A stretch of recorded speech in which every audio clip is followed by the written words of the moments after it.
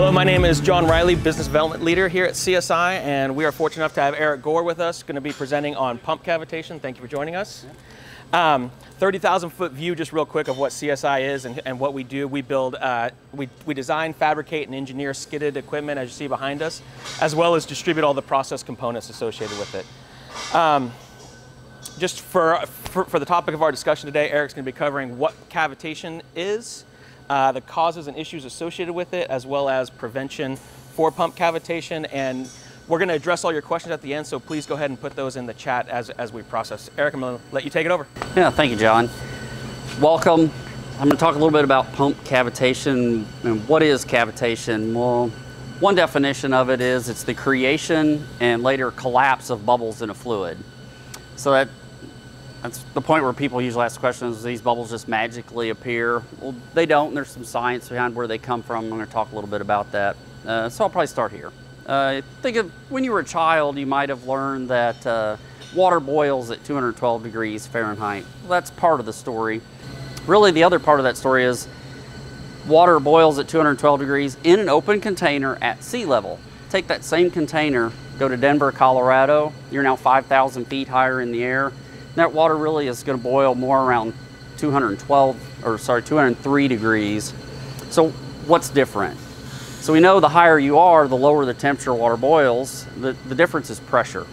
So at sea level, you have all the pressure of the atmosphere above you pushing down on that fluid, which helps make it boil at 212 degrees. When you're in Denver, you have much less atmosphere, 5,000 feet less, pushing on that fluid, makes it boil at a lower temperature. So knowing that pressure affects what temperature water boils, it stands to reason if you got high enough in the air, uh, water could boil at, say, the temperature in this room. I have an example for that. In my hand, I have a, a, pretty simple syringe. And this syringe is one that's generally used to maybe give medication to a small child. And in it, I have water. That water is uh, room temperature, so it's about 72 degrees, I would say, in here. And I'm gonna cover the end of this, and if you see in here, no bubbles. When I pull this plunger back, I'll be lowering the pressure of that water, and you'll see air bubbles appear. Then I will let off of the plunger, and you'll see those bubbles disappear. So there's the creation of bubbles and the collapse of those bubbles. And I can do that a couple times, let you see it.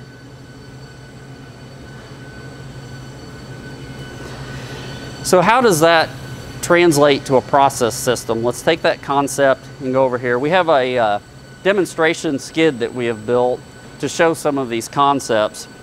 So I'll give you a little tour of it. Here we have a tank of water that's uh, room temperature. That water then is traveling through a pipe, past this sight glass, through this Alfa Laval centrifugal pump, and on through some piping system where it returns back to this tank. So right now, John, about how fast are we running? You're running about 15 hertz, about 30 per, or 25%.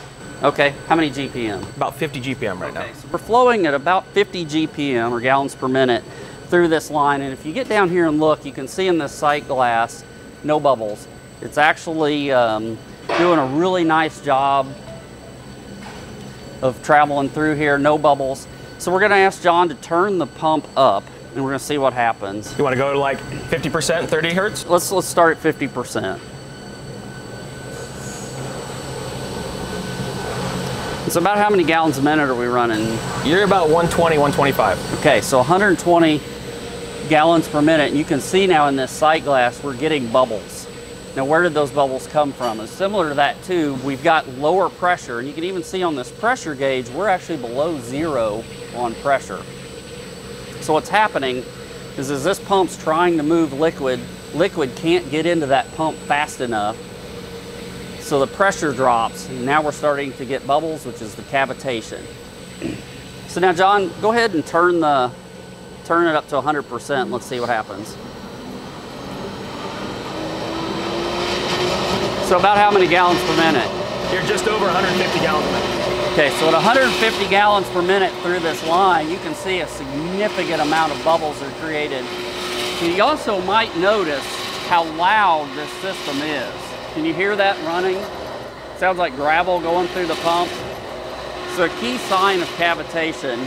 Also notice our pressure on our inlet gauge is very low and also very erratic. Now on the outlet side of this pump, you'll also notice this pump or this gauge here, very erratic, uh, jumping around. You can tell that the pump's not performing very well. Eric, do you mind if I turn it down? I, yeah, please, please turn it down so we can talk a little better. So I'm actually glad John pointed that out.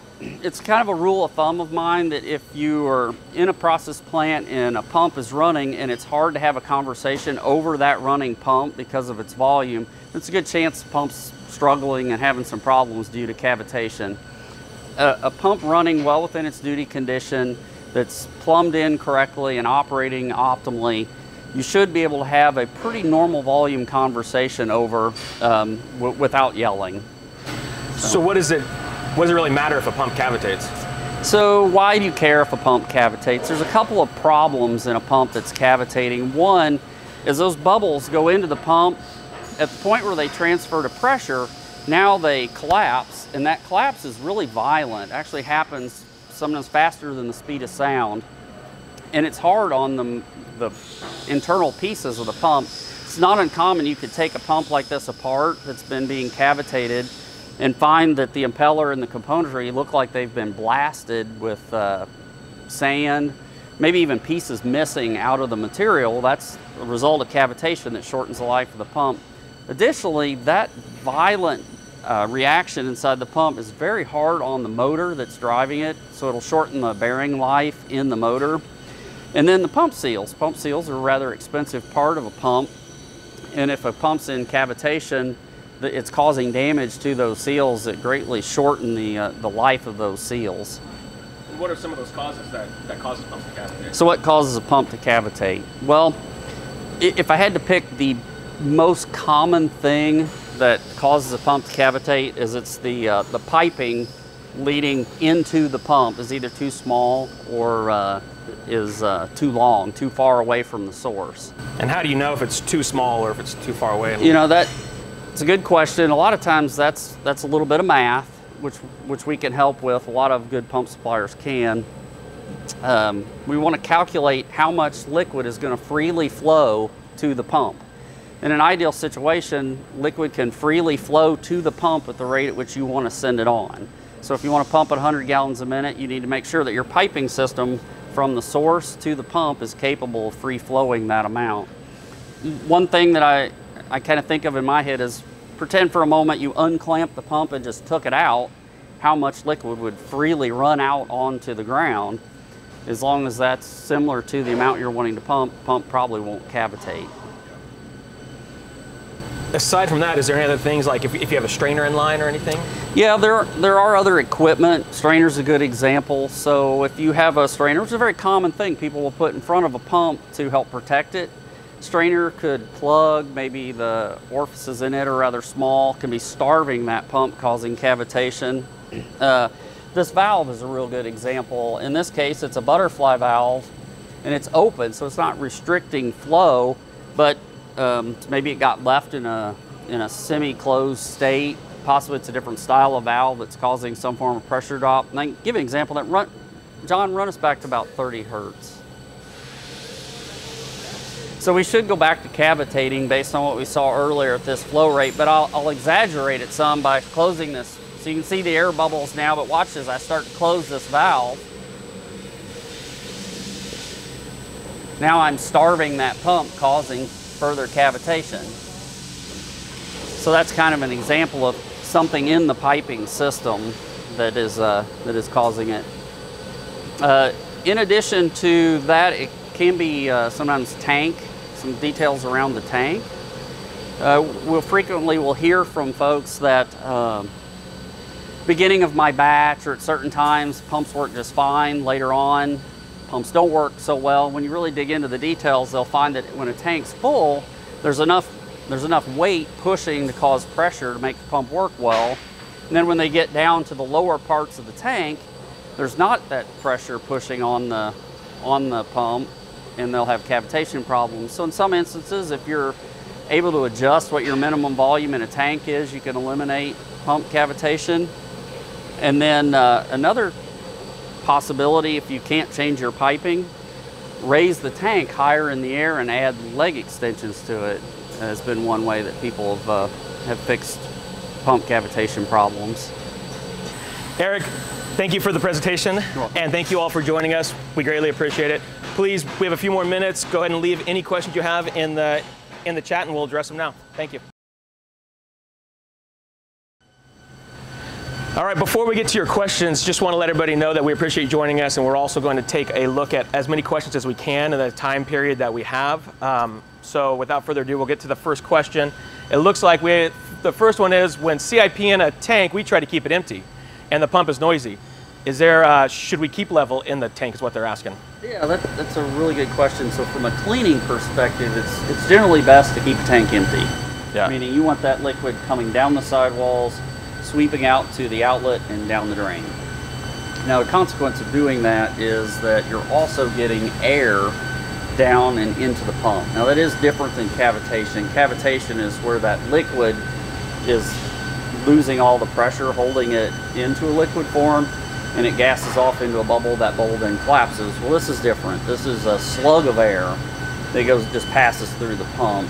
Um, now there are times people will let a little level build in a tank, maybe to clean an agitator or something, but cleaning generally you want want it empty. Now, even though it is different, just air going through the pump, it, it can cause some trouble with the pump, maybe air locking, some performance issues. So it's it is different, but if you're having problems with it, maybe reach out to us. We, we can help you select some pumps that are really designed to deal with entrained air, work good for CIP return. Gotcha. Makes sense. now I see we have some other questions. What's that? I see there's Yep. some other. I'm gonna go ahead and get this one. That's a good question, Eric, because honestly, whenever we've talked about centrifugal pumps or in cavitation, it's usually all about centrifugals. But the question is, are centrifugal pumps the only pumps susceptible to cavitation, or can other types, PDs in- in particular? Fair question. So a lot, lot of this demonstration, we, we really did focus on centrifugal pumps because that's, that's what we have in this, uh, in this demonstration. Also, uh, when, when uh, individuals reach out to us with cavitation problems or just pumping problems in general, uh, they recognize cavitation in the centrifugal, or they recognize a problem, I should say. Yeah. Because it's very noisy and very obvious. They're spinning fast, turning fast, and it reveals itself as this sound of gravel or marbles going through the pump. But pretty well every pump can cavitate. It's, if you're trying to pump faster than liquid gets into the pump, that's where you'd experience cavitation. Gotcha. Um, for instance, on like a SRU, Alfa Laval SRU rotary lobe pump, they can be cavitated. It just sounds different. They're moving much slower. Uh, it can be hard on the internal components, can shorten the life of that pump, can degrade performance. It just isn't as obvious. But yes, all pumps can cavitate. Okay. All right, Eric, so I see another question up. Um, question, does viscosity of a product play a role in PD pump cavitation? PD pump cav- Or, or does viscosity play a role in any pump It, cavitation? it plays a role in all all cavitation. So it, it- during the presentation, we talked a little bit about how we can calculate how much liquid would just free flow out of the tank Yep. to the pump.